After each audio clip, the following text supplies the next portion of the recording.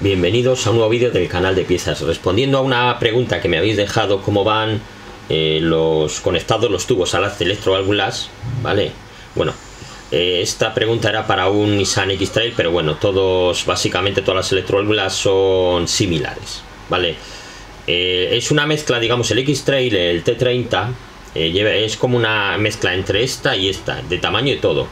¿Veis? Aquí llevaría siempre, siempre este es el tubo, siempre va a ser este, el del extremo, el extremo del que está al extremo del conector, al otro lado, siempre va a ser el que el que viene de la, vamos, el que conecta con la bomba de vacío, siempre.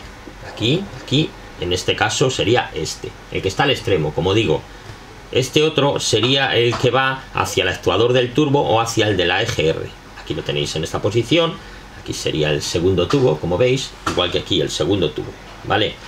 Este otro tubo, por ejemplo, esto sería en este caso el de presión eh, atmosférica. Vale, aquí iría, digamos, esto es lo que hace es compensar entre que, digamos, que se libere, entre aire y se libera ese vacío. Vale, aquí iría aquí dentro tapado por este filtro y aquí el Nissan X-Trail, creo recordar que lleva aquí atrás también tapado por esta pieza que hace de, filtro, ¿vale? Una especie que hace de filtro, ¿vale?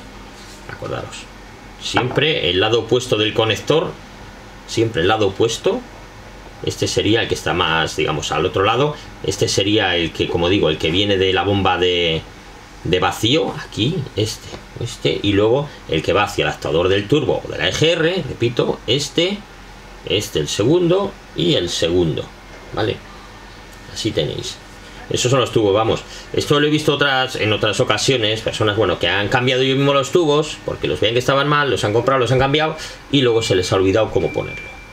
Luego no sabían cómo poner uno y otro, y no les iba bien, ¿vale? Bueno, pues espero que os haya aclarado algunas dudas, y si es así, no olvidéis dar un like y suscribiros al canal.